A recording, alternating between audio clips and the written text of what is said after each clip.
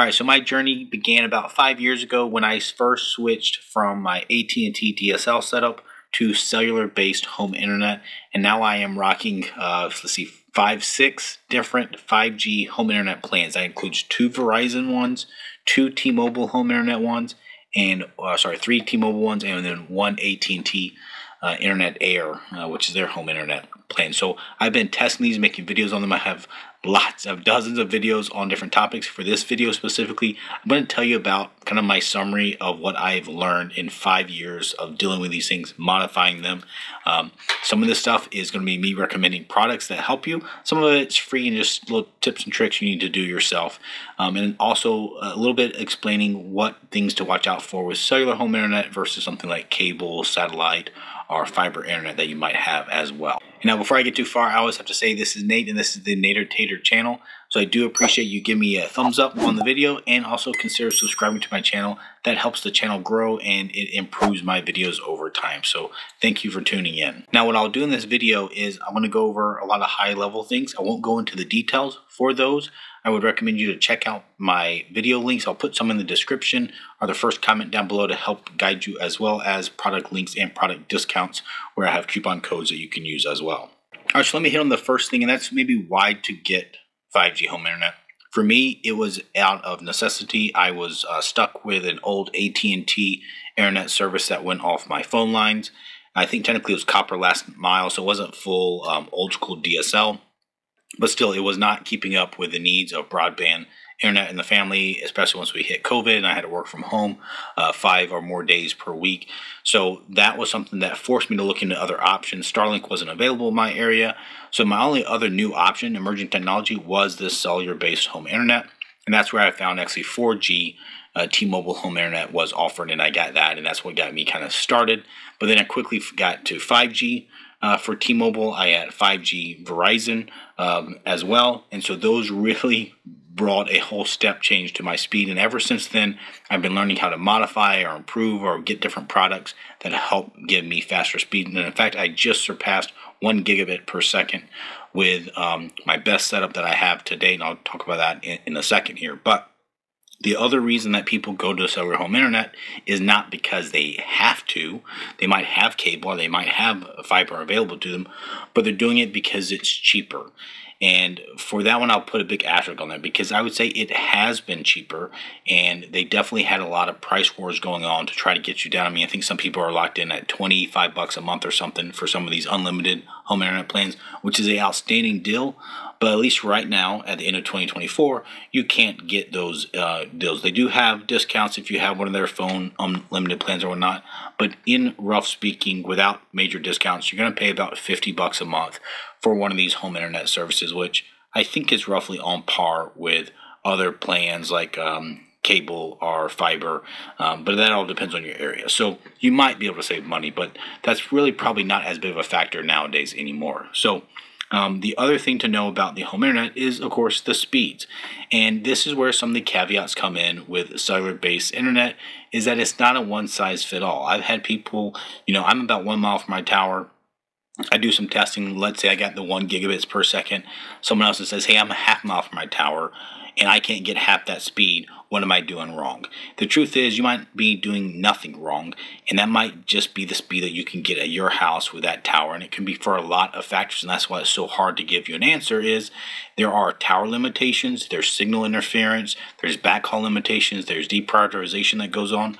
So long story short is they very rarely uh, claim a speed for the 5G home internet, and that's because they don't really know what it's going to be for you at your home uh, due to a lot of factors. Now, Verizon does do a little bit better with kind of a promise or um, more consistent speed, I would say, and that's because they throttle it. So the fastest throttle that they have, I think, is 300 megabits per second down and 20 up. And so I've seen that over and over again, no matter what I do, including if I modify the gateway box or whatnot, it does not improve. So uh, they have other lower tier plans that actually are throttled, I think, as low as 100 megabits per second for download. So uh, you do have to understand. I'm not going to get into each one, all their nuances, but uh, Verizon has been um, the most consistent as far as they do throttle their home internet plans.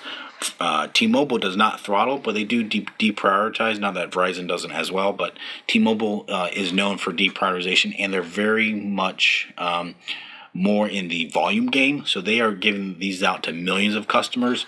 Um, Verizon is kind of a, a close second, but T-Mobile has been much more open to sending this out to places that maybe they're not even sure if it's going to get great signal, and the user finds out that either hey it doesn't work well for them, or they're so uh, heavily congested on the network that they are slowed down during the peak times in the in the evenings, and they can't use it basically. So that's the caveat with T-Mobile. Um, but I've also seen the most speed with T-Mobile, um, especially once they get away from their stock gateways, and I'll show that here in just in a second. AT&T is the newer comer and definitely lowest uh, volume player that's out there today.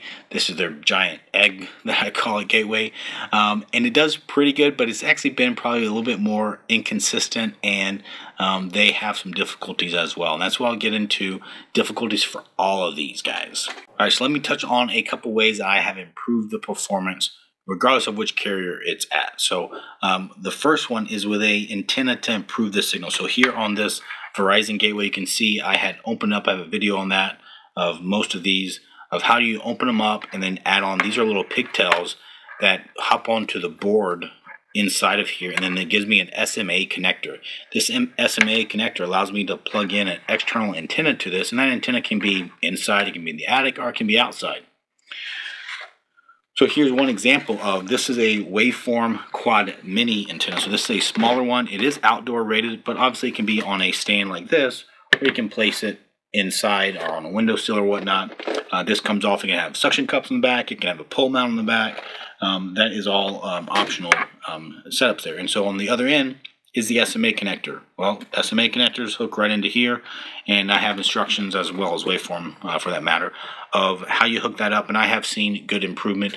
This smaller antenna is not as big of an improvement as their Quad Pro antenna, which is probably about three times the size of this unit, um, or two and a half times, and then it goes outside uh, ideally on a pole, and that's how I've gotten my really fast speed, and that's how I got over one gigabit per second with a Quad Pro antenna hooked up um, to actually not one of these stock gateways, but the other big um, trick to getting speed and flexibility is a third party gateway or modem router setup.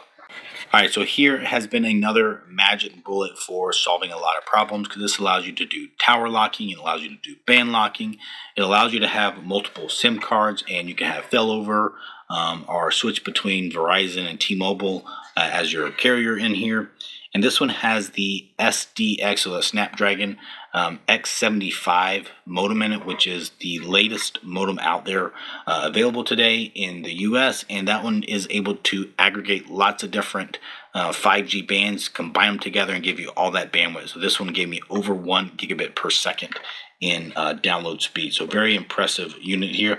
And this one again has the antennas that you can screw off and you can plug in a external antenna directly to this one as well. This one has Wi-Fi built into it, and so that is another thing that gives you a lot of capability. There are a couple uh, problems with this, and that's that some of these um, devices, like this specific Verizon one, does not have a physical SIM, which you do need to plug in here. One of their white cube boxes does have a physical SIM, so you can take that and put it out. If you can't, like on this one, then I was stuck with adding antennas to it in order to improve the performance. But this um, gateway here has a, a, SIM card in it that you can just take out and put in um, devices like this. You do have to do some settings in here to make it um, act the way you want it to. I have videos on that of how exactly you do that. But once you do that, you're freed from a lot of the constraints in here. You know, these don't allow you to mess with hardly any settings, um, especially the T-Mobile ones. They're the worst ones at um, settings and um, there is a hint control app that allows you to do some stuff but even that one they've been locking down where now they allow you to turn off a 2.4 gigahertz wi-fi but they won't let you do the 5 gigahertz wi-fi to turn off on this guy. The verizon and at&t box give you more settings and i have videos that go through all of those but I'm going to get into now the other um, big drawback to pretty much all of the cellular stuff, and that's if you want to do any advanced networking stuff where you host a uh, server, you have a NAS, and let's say you have a Plex server, or you have um, a lot of gaming that you want to host a, um, a game on, um, you're going to run into more problems with the cellular based internet. And that's because they use most of the networks use something called CGNAT, which is carrier grade NAT.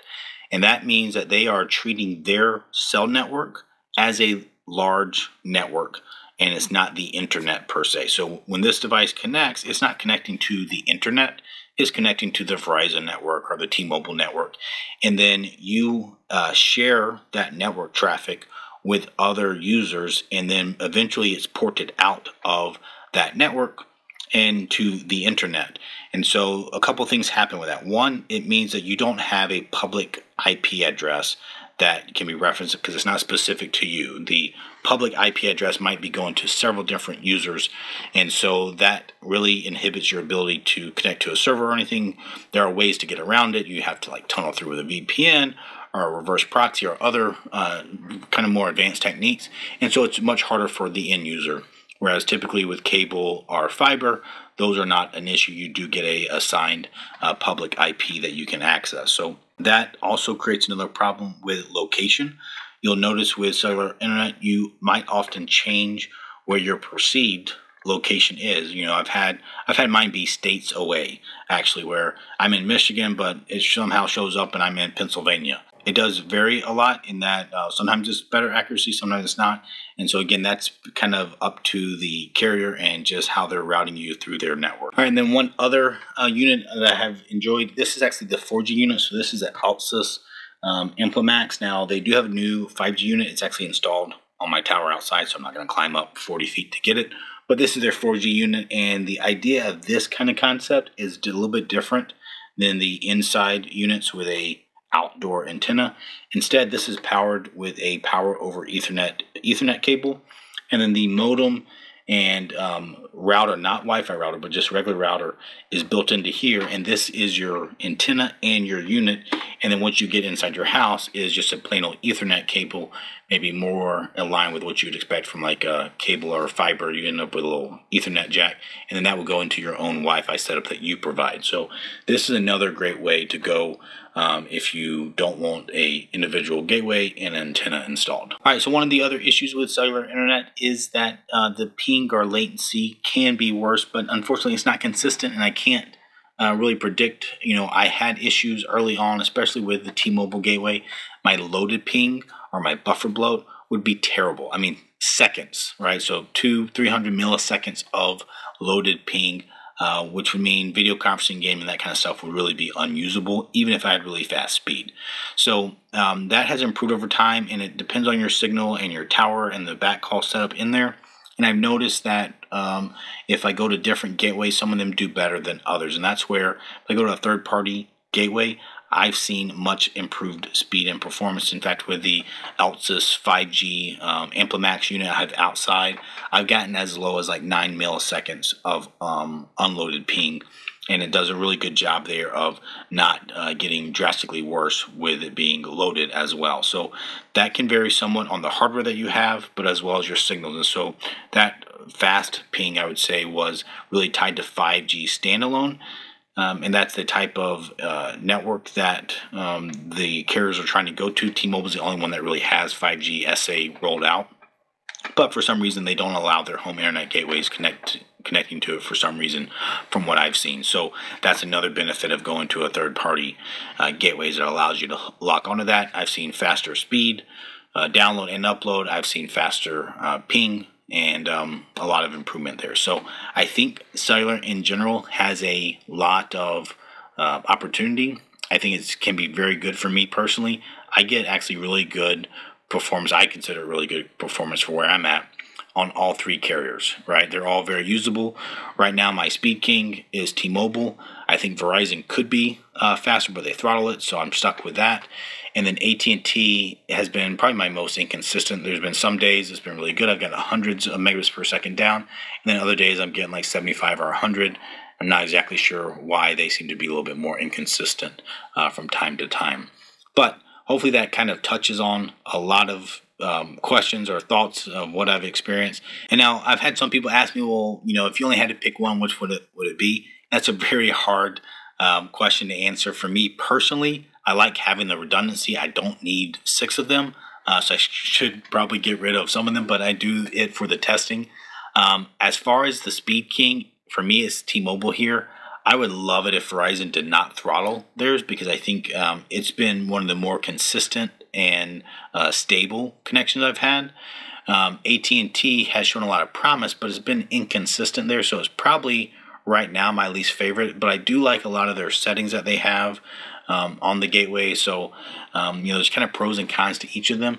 So probably if I had zero need for a public IP address, I didn't uh, want to host anything or, or do that kind of stuff, then probably T-Mobile would be my favorite for me at least. It's my fastest performing one. Once I have good hardware, then I'm able to get some really blazing speeds with it.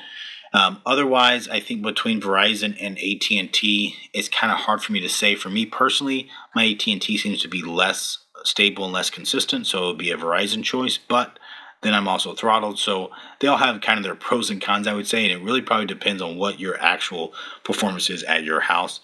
And uh, so I would I would have to say you have to kind of test it to truly find out. But no matter which one you pick, there are ways to improve it either with an antenna or with a um, third-party gateway. All right, so one free way to get faster speed is actually with the placement and maybe a little bit of research as far as where your cell tower is at and where you need to place the unit. And you have to dive into the settings to get the uh, signal information from the unit so you can really fine tune your, your unit there. So I have some videos on that. Um, but what you want to do is you can use a site like cellmapper.net.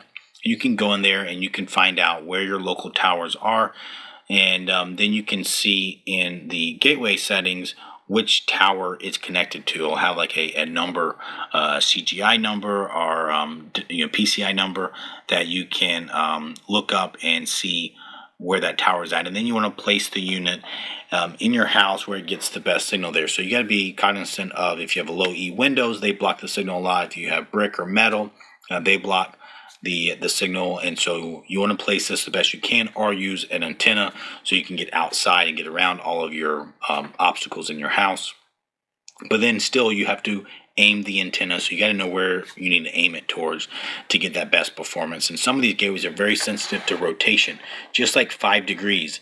Um, a couple degrees can make a big difference in the speed. Some of them are really that sensitive. So you want to mess with that uh, first and really make sure you you've kind of tried out different areas different floors of your house um, to find the best signal there. All right, so I know this video was a little bit vague and it's me kind of just talking about my experience, but hopefully it gave you some uh, thought starters, some ideas, some things to go dig into. And then if you have questions, you know, first go check the links I put down below and uh, see if any of them uh, help you out with more information. And then, of course, you can add a comment to the video where you can either ask me something or you can share your own experience with what you've had uh, with this or why you switched over to cellular home internet. So um, put that down below, and I do read those comments and I do try to respond to them. So uh, I appreciate everyone tuning in and following along, and we will talk to you next time.